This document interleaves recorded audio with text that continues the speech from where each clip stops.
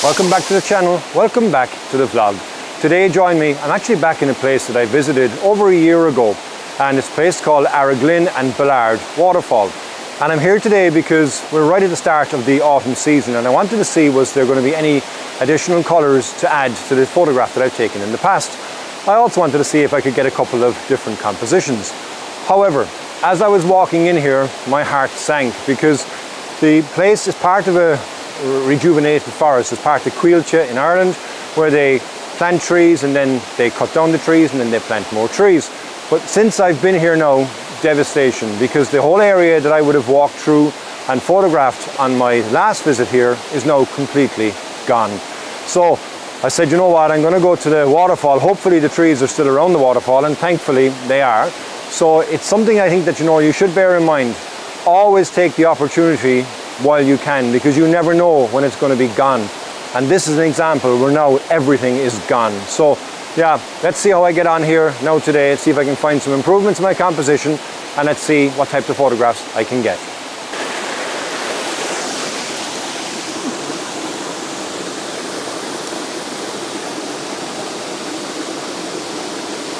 So the first photograph now that I've taken here is very similar to the image I had taken the last time I was here, except I actually went into the water behind me, which I probably will still do. But as I was looking here, there's a lot more flow in the water this time. So it's actually quite interesting because I'm getting a lot more water, which is filling the frame. I've come down low with the tripod.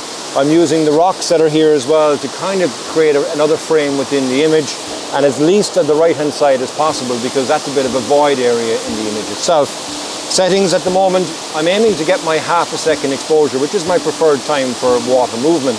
So at half a second exposure, I'm at f11 and I've got my ISO at 125. And I've also put on my polarizer here just to take the sheen off the water that's here in front of me. I think it's a nice shot for my first one anyway. Um, I'll show it to you now in a moment. And then I'm going to try and go back here, see if I can get a similar shot to what I've got in the past, but obviously with more water flowing that there is today.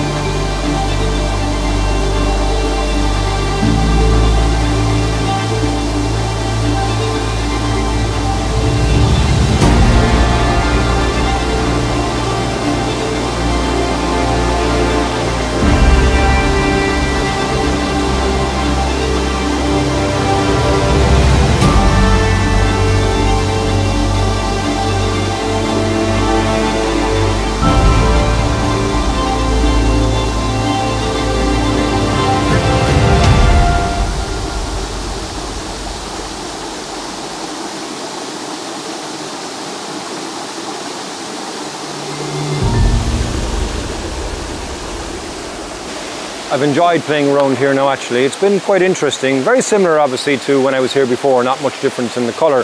But I do think that I've managed to fine tune a couple of compositions by getting down close to the water. Now I couldn't record really, really well there because the noise, as you can probably hear from the waterfall here, is quite loud.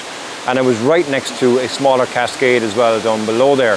The idea behind that image is to really get into the flow of the water. So I was around about maybe a foot away from where the water was flowing in. I had two cascades, one large one, one small one, and then the waterfall positioned in the back. But I do think that that shot anyway will be nice. And then I walked around these rocks here to get a couple of different compositions, um, which I do think would be quite nice. And then behind me over here is a small area that I was able to get down close to the water, but it has a long flat area of the water as it comes off the waterfall. And I think that also will be a nice photograph. It's starting to rain now as well, so um, I'm probably going to move away from here and go back upon myself. And what I'll do is I'll give you a look at the area that I would have photographed in the past and I'll show you the devastation that I was talking about uh, at the beginning of this episode. One other very quick thing actually is something that you should always have with you in your bag and it's this. So this small little thing right now is actually my rain jacket. It folds up into itself, into its pocket. And then it's very simple matter taking it out and now I have a fully fledged rain jacket which is going to protect me from the rain.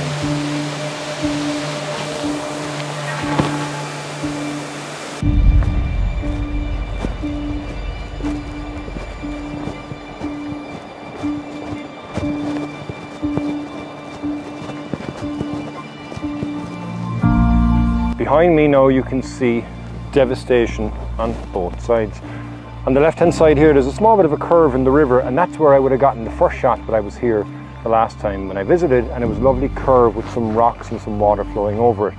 I'll actually show you that image now.